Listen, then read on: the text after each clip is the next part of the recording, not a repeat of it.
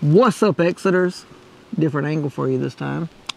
But today we have exited off New Haven, Vermont, here in the Evergreen Cemetery to bring you a most unique. I can't. You look perfect when you do that. graveside. So join us today on this adventure.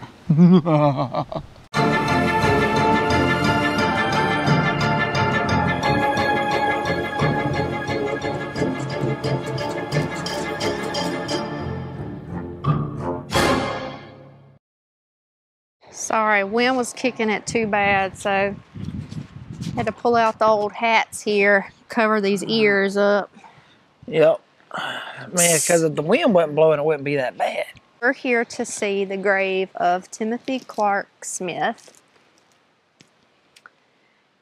And really, this is not a big cemetery compared to some of the ones we've been going to. Yeah. And it's kind of on like a really country road. Not much traffic's coming through here at all. Nice woodline areas, like the woods are the boundary to keep the cemetery in. This man was like super smart. He was a surgeon, he was a physician, he was a teacher. Um, he got his degree from New York, and in 1855, he started working with the Russian army for two years, doing like medical stuff with them, and then became employed with the US and traveled around the world. Nice. But, you know, despite being that smart, and which it's not nothing to do with your intellect, I mean, people have fears all the time. I mean, this one behind, I just choked on some hair. this one behind me scared of spiders. I wouldn't say like deathly afraid, like you're not going to run out of the house screaming though. No, And then you I have just don't like like them. And then you have people scared of heights, which I'm not a fan of. Like, I I don't like being up high and like having to like look over something. Um, or like closed spaces. Well, Mr. Smith was afraid of being buried alive, which was not an uncommon fear back then.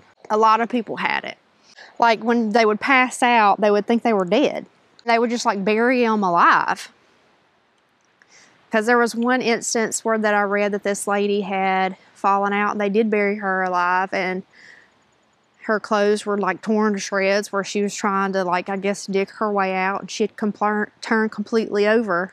They're also bad about digging people up back then. Yeah, For whatever vampires. reason. Yeah. Because there have been several instances where we've read stories on, oh, this person was buried and then like they dug them back up and then buried them again or burned the body and then covered them back up or whatever.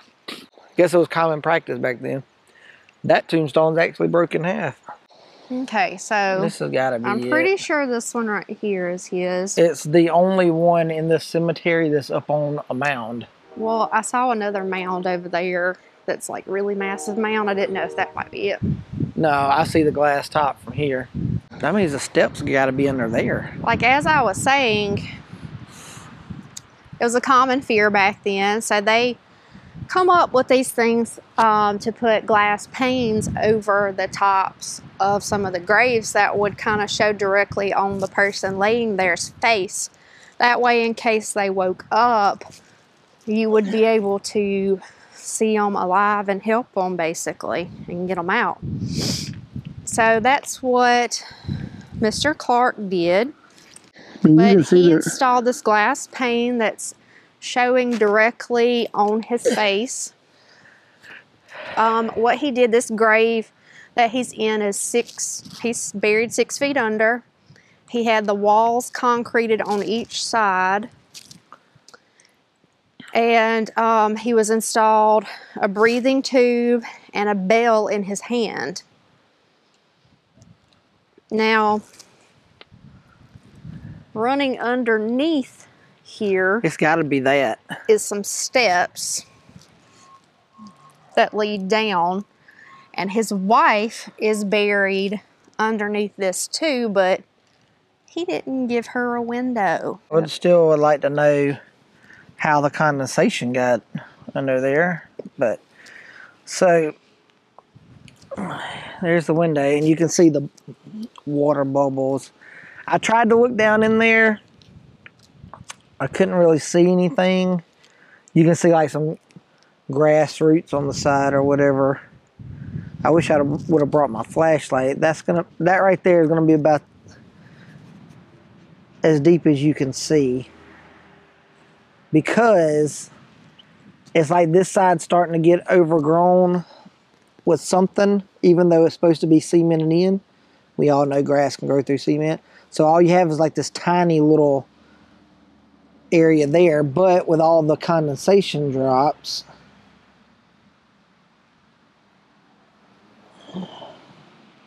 can't really see down in there too good. But you can tell people left him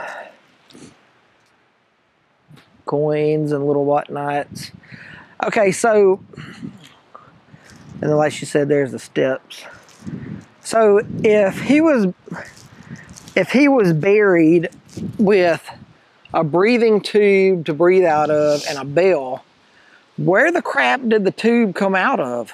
This is like really a kind of a creepy grave though, because just knowing that if that condensation wasn't there, you should be able to see down in there and possibly see his bones or something still laying there. So he actually died on Halloween. Oh, that's even more creepy. This person died at 72. This What one died one at say? 66 years. Dr. A. Smith. H. A. Smith.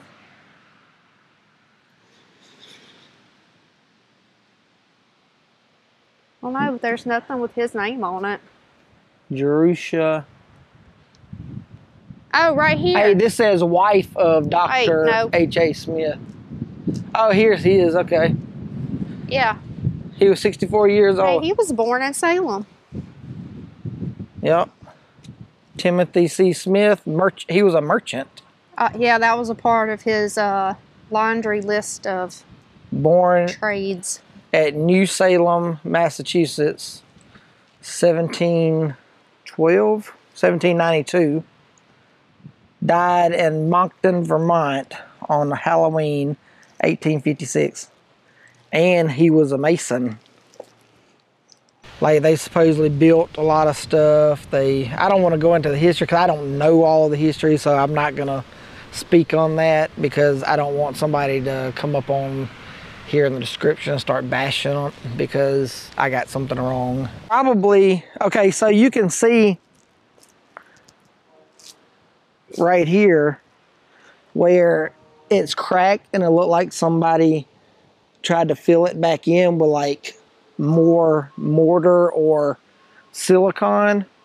So I bet you because of this crack right here, I bet you Like there You- were stairs Yeah. that you could go in, and then they put this on there. Yep, to close it up to keep people from going. So if if he would have been buried alive, it probably would have taken a couple guys with some crowbars to get under here, slide this off, and then because if you notice, this bottom section here is built into the mound itself. Only this top piece is sitting on top of the mound. It's still a very weird and unique graveside, knowing that underneath this is steps going down there where Mr. Timothy lay buried, looking out the stars through his window, and his bell and his breathing tube. Well, Still- fortunately for him, his fear never like came to be. That you they never of. heard his bell ring, and every time they would check the window, he was still chilling there peacefully in the afterlife. Well, if he was a vampire, then They didn't think he was a vampire. Where are you adding that into this story? I'm just saying, you don't ever know. People up this way believed in vampires and stuff, that was only if you died with tuberculosis. You were I a mean, vamp. but you don't know. I mean, people up here believe that. We've done seen two graves with like bars over them to keep something in or keep something, you know, yeah, from getting out. So keep them in. You don't know. Maybe he's uh the window lets him know when the sun goes down, and then he climbs out. You're just taking the story to a whole new level. All right, well, that does it for us at this exit. Hope you guys enjoyed it.